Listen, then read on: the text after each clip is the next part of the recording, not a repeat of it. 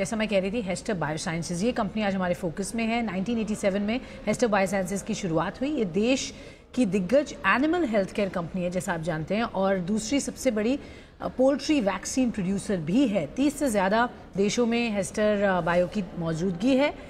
Bill and Melinda Gates foundation Nova Pharma सहित कई संगठनों के साथ इन, इन, ये जुड़ी हुई हैं और पार्टनरशिप करती हैं तो आप समझ सकते हैं। बहुत मार्की नेम्स यहाँ पर इनके साथ काम करते हैं। कंपनी के मैनेजमेंट से अब हम बातचीत करेंगे किस तरीके का डिमांड है आउटलुक है कंपनी के CEO and M D Rajiv Gandhi हमारे साथ शो में जुड़ रहे हैं। मिस्टर गांधी गुड आफ्टरनून बहुत बहुत स्वागत है। पहले तो सर पहले तो मैं आपसे जो हाल ही में पेट केयर में आपकी जो एंट्री हुई थी उस पर क्या रिस्पांस मिला है? किस तरीके का पोटेंशियल आप देख रहे हैं? क्या है वहाँ पे प्लान्स पेट केयर इंडस्ट्री कितनी इंपॉर्टेंट होगी कंपनी के लिए यहाँ से आगे आने वाले समय में?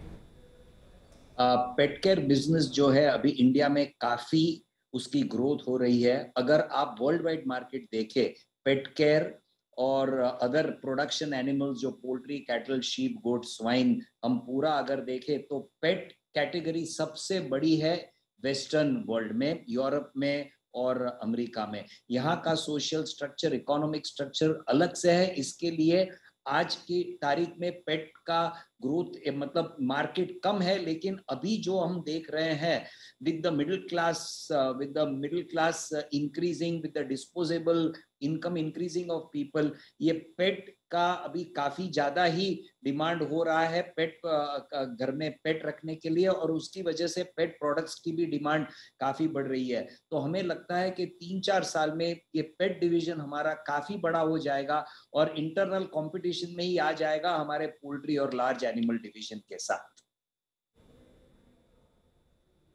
तो प्रॉस्पेक्ट बहुत स्ट्रॉन्ग है और इंडिया में ऑफकोर्स अभी शुरुआत है बट आप कैप्चर ऑन कर रहे हैं by first mover advantage in many ways और ये ग्रोथ अच्छी यहाँ पर होने की उम्मीद है सर कुछ अंदाज़ा है sir in terms of revenue potential जो आप देखते हैं शुरुआती और उसके बाद over a period of time क्या स्टडीज़ कहते हैं? किस तरीके का ग्रोथ यहाँ पर दिख सकता है? If you can quantify exactly uh, quantification exactly तो थोड़े मतलब टफ है इस टाइम पे क्योंकि हमने अभी ही शुरुआत की है। हमने हमारे फोरकास्ट बनाया है सब कुछ बनाया है। नेक्स्ट ईयर हम देख रहे हैं कि हमारा कुछ अराउंड पंद्रह से बीस करोड़ का टर्नओवर हो। और उसके बाद हम देखेंगे कि किस प्रोडक्ट में किस कैटेगरी इन पेट में हम और करें। हालाँकि हम वैक्सीन में हमारा सबसे बड़ा स्पेशलाइजेशन वैक्सीन में है। आज की डेट में हमने पेट के सिर्फ़ हेल्थ प्रोडक्ट्स लॉन्च किए हैं। अगर एक डेढ़ साल के बाद हम वैक्सीन भी लॉन्च करेंगे तो अभी ये इसका ग्रोथ ट्रेजेक्टरी हम एक साल के बाद पूरा हम स्टडी करेंगे। आज की डेट में इतना इससे ज़्यादा फोरकास्ट देना हमारे लिए भी थोड़ा इजी नहीं है। ओके फेयर इनफ सर समझ सकते हैं। बट आपने इंटरनल टारगेट्स बनाए हैं। क्लियरली uh, वो अब आप मीट करेंगे उसके बाद ही आई एम श्योर उस पर बात करना चाहेंगे। बट प्रोजेक्शंस डेफिनेटली यहाँ पर अच्छे दिख रहे हैं जैसा आप समझा रहे हैं हमें। कंपनी के margins and I believe of course इसकी uh, जो हमने पिछले uh, समय से कुछ कमोडिटी प्राइसेस इन्फ्लेशनरी प्रेशर्स देखे उसकी वजह से मार्जिनस पर असर ज़रूर पड़ा है। कैसे देख रहे हैं सर मार्जिनस का picture over the period of time let's say by the end of this year किस तरीके के मार्जिन हम एक्सपेक्ट कर सकते हैं? uh, और जो प्रेशर्स अभी आए हैं उनको मिटिगेट कैसे करेंगे? uh, क्या कुछ price hikes are in the offing sir देखिए हमारी कंपनी जैसे मैंने अभी कहा आपके अगले सवाल में we are specialized in vaccine vaccine margin health product से काफ़ी ज़्यादा है। लेकिन हम अब पूरा हमारा पोर्टफोलियो डाइवर्सिफाई कर रहे हैं। अगर आप वर्ल्ड वाइड मार्केट देखें वैक्सीन और हेल्थ प्रोडक्ट्स में हेल्थ प्रोडक्ट की मार्केट बहुत बड़ी है वैक्सीन से। जब हम ये पूरा हम शिफ्ट कर रहे हैं। शिफ्ट हालाँकि ऐसे नहीं कि हम वैक्सीन छोड़कर हेल्थ प्रोडक्ट्स में आ, रहे हैं। हम अभी हेल्थ प्रोडक्ट्स को भी हम इम्पोर्टेंस दे रहे हैं और वो भी डिवीज़न बढ़ा रहे हैं क्योंकि ओवरऑल अगर ग्रो होना है हमें सेल्स में बड़ी छलांग लगानी है तो हमें हेल्थ प्रोडक्ट्स के ऊपर भी फोकस करना पड़ेगा। हेल्थ प्रोडक्ट्स में मार्जिन कम है वैक्सीन से। सो so, अभी जैसे जैसे हम आगे बढ़ेंगे देखिए, हम हेल्थ प्रोडक्ट पे हम डेफिनेटली फोकस करेंगे, जिसकी वजह से हमारी टॉप लाइन काफ़ी हद तक अच्छे परसेंटेज में उछाल होकर आगे बढ़ेगा।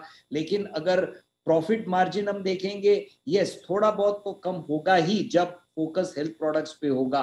But on the flip side जब देखिए, अभी लंपी स्किन डिज़ीज़ है गोटपॉक्स वैक्सीन है पीपीआर वैक्सीन है, ये भी दूसरे वैक्सीन आ रहे हैं।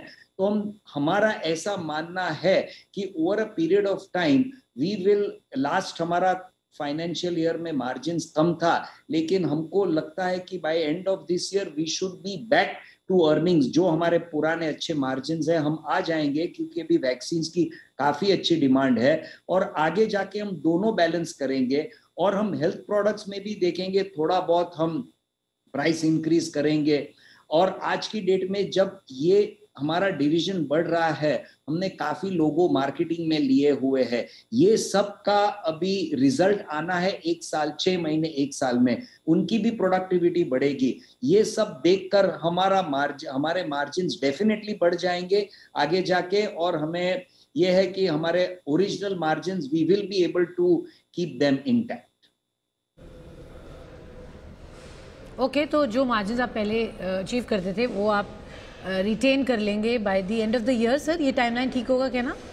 हाँ yes what you say is right by the end of the year हालाँकि अभी पहले हेल्थ प्रोडक्ट्स का सेल थोड़ा ज़्यादा हुआ था अभी वैक्सीन का भी अभी सेल ज़्यादा है तो हम we will gain the bottom line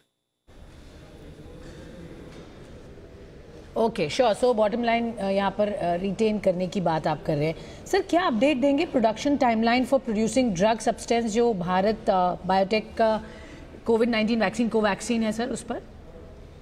ये हमारी हमारी जो फैसिलिटी है, उसमें वैलिडेशन चल रहा है दी होल एरिया वैलिडेशन हालाँकि डीएसएल थ्री लेबोरेटरी है तो उसमें वैलिडेशन एक्टिविटी को भी थोड़ा ज़्यादा टाइम लगता है। हमें ये ऐसा अनुमान है कि हम दिसंबर महीने में हम फ़र्स्ट ड्रग सब्सटेंस हम फ़र्स्ट बैच हम दे देंगे भारत बायोटेक को, उनका वो कोवैक्सीन वैक्सीन के लिए। ये आज की डेट में हमारा फोरकास्ट है। और we have decided our forecasted capacity है 70 लाख डोजेस पर मंथ उस वो हिसाब से हमारा प्लांट है यहाँ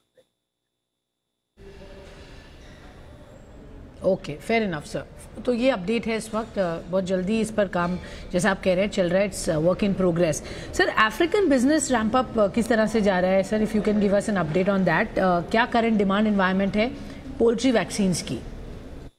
अफ्रीकन कॉन्टिनेंट में जो हमारा प्लांट है, करीबन तीन चार महीने पहले शुरू हो गया। हमने वहाँ पे तीन पाँच वैक्सीन ऑलरेडी कमर्शियलाइज कर दिया है।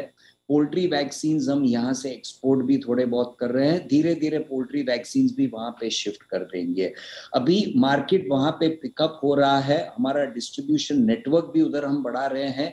एक डिस्ट्रीब्यूशन कंपनी जो टांजानिया में थी थ्रिशुल एग्जिम करके उसमें भी हेस्टर बायोसाइंसेज ने 50 परसेंट इक्विटी ले ली है ताकि हमारा डिस्ट्रीब्यूशन नेटवर्क और स्ट्रांगली वहाँ पर बढ़े। तो ये सब हम डिस्ट्रीब्यूशन की तरफ़ बढ़ रहे हैं और धीरे धीरे अफ्रीका में यह है कि आज तक कोई जो अफ्रीकन डिजीजेज है उनके सामने कोई वैक्सीन बनाए ही नहीं है, हम फ़र्स्ट टाइम बनाने जा रहे हैं।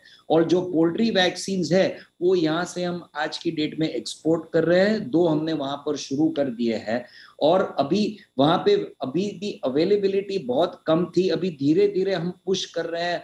हर एक गाँव में, हर एक डिस्ट्रिक्ट वहाँ पे, पहले टांजानिया में, फिर हम जाएँगे केनिया और दूसरी कंट्री में। अभी हम नेटवर्क बना रहे हैं और हमें लग रहा है कि तीन या छह महीने में हम एटलीस्ट टेंजानिया में पूरा हम कवर कर देंगे और उसके बाद हम बाहर के मार्केटों को हम एड्रेस करेंगे। हालाँकि आज की डेट में जियो पोलिटिकल सिचुएशन की वजह से जो जो देश पहले उन्होंने कुछ फोरकास्ट किया था गवर्नमेंट टेंडरिंग के लिए वो सब थोड़ा स्लो है।